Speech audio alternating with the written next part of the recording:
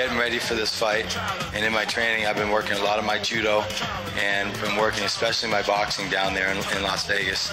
I'm working with um, Bernard Hopkins for his last two fights, and uh, Derek Harmon, who's another uh, cruiserweight boxer from Las Vegas. And uh, I just feel, especially my hand and my stand-up training, although uh, I've been incorporating, like I said, uh, my judo and my sambo techniques, which I kind of put on the shelf while I was at Military Fighting Systems. Trained everything we always trained, nothing special. And we're gonna looking forward to do what we always do, the basic. My thoughts on Anderson Silva are keep your hands up, make sure your head doesn't get kicked off in the third row, and uh, you know, basically for me, I'm just going to push the action because uh, as long as my hands are up and I stay close to him, I think he's going to be in a lot of trouble. He's an excellent fighter. Everyone that's going to fight tomorrow is a good fighter. We are all here to just entertain people. My thoughts on Anderson is I don't think anyone's really hit him flush. So uh, like I said, he's a talented fighter. He can really do everything standing up, and uh, you have to be really careful with that. But I'm prepared. I don't think a lot of people know what I'm capable of because uh, a lot of times I've been going to my fights uh, on short notice or with injuries, and this is the first time I really feel healthy where I can do a little bit of uh, everything he can do and a lot more as well. I believe that no fighter should be talking before the, the fight is over. Um, I see me coming out ahead, of course, um, but a lot of pressure. A lot of pressure is the way I like to fight. Um, I don't hold back, and you know that. I'm just going to come forward and uh, and push the pace because I don't get tired, and uh, I like to try and make people melt. And I think he's gonna. I think he's gonna fold. We need to see inside the cage to, and then how things will develop. When we out here, it's very easy to say. I can I can say out here that I'm gonna KO Mike Tyson, and in, you know, in fact, that may not happen. Cage Rage. Anderson Silva, you're giving me a shot at your title. I appreciate the chance.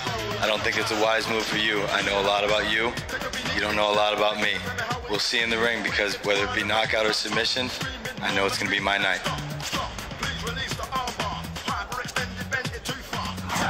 Tony, você fala demais. O bicho vai pegar. Cage Rage. Ladies and gentlemen, it's time for the main event of the evening. First to enter the Cage Rage Octagon, weighing in at 83.7 kilograms. He has a background in mixed martial arts, and this is his Cage Rage debut. Representing Las Vegas Fight Club, the challenger,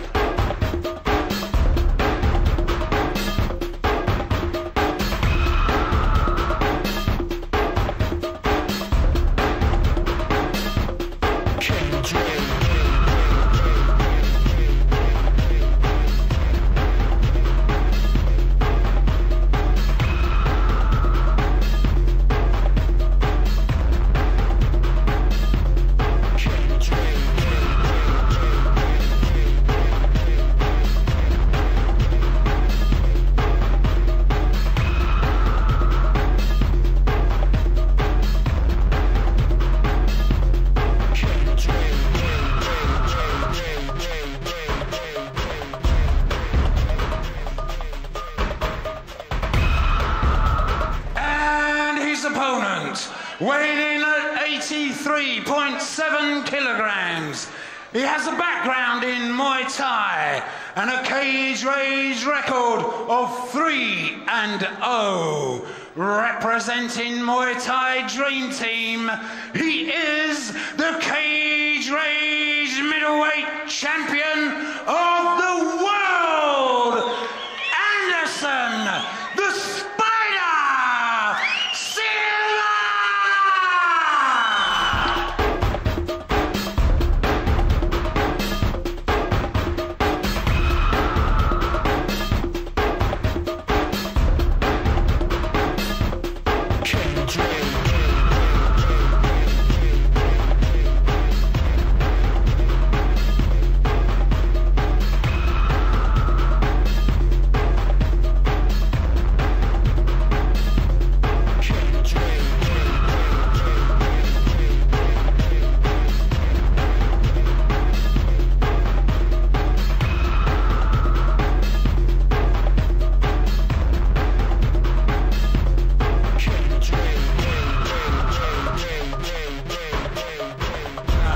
This is a middleweight contest scheduled for three five-minute rounds of action for the Cage Rage Middleweight Championship of the World.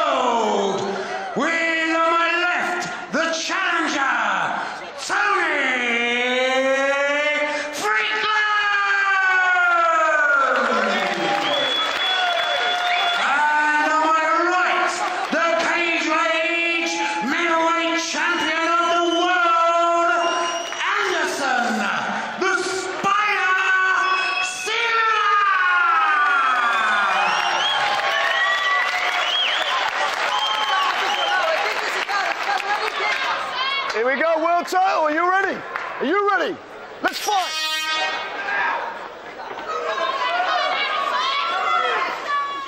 Yeah, Lee Murray showed a lot of guts in doing that. Tony Fryklund coming out, realizing, if he didn't before, that Anderson is a southpaw. Tony, his weapon of choice to open things up would be a straight right. Tony circling away from Anderson's left high kick. Anderson being patient. Just taking his time. See, this is Fryklund is using a pretty good game plan so far. He hasn't really landed too much other than that, that little clipping low kick, but he's staying away from the power of Anderson. And that would be the straight left hand or the left roundhouse kick because he's moving to his left.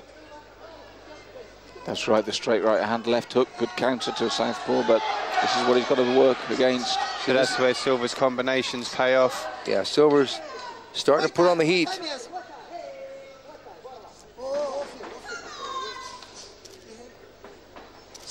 Oh, good knee. Full knees.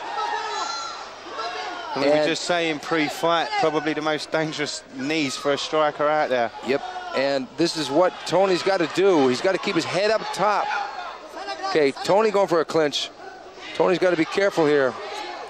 He's keeping his head up nice and high because if his head goes down low, it could eat a knee. But Anderson chopping the body. Yes, with those knees round to the side as well, to the rib cage, varying the knees there. We saw him finish Jorge Rivera nicely from that same position. Good Uppercut. uppercut, beautiful leg kick. And it- Flying knee and it landed. It's those leg kicks and a kick to the fight, a knee to the fight that drops Fryklund. Silva asserting his world dominance here as champion. Oh, oh and backward it's elbow, over. it. It's Reverse over. elbow. Superb. This is why this man is middleweight champion of the world. That was unbelievable. We've seen a back knuckle. That was a back elbow, a right back elbow. I have never seen that move yet in Cage Rage. And you can see everybody's mouth is open as you look around the arena. That's Nobody you see expected in it. movies. Wow. See that in movies, not in a real fight like that. That was straight out of Incredible. Ong Bak. Unbelievable. Straight out of Ong Bak. It was a reverse. He didn't spin. It was not a spinning elbow. This was one of the most amazing. Look at this. He throws it from here. Watch this. Oh, what a shot. Beautiful. Ladies and gentlemen, after two minutes, two seconds of round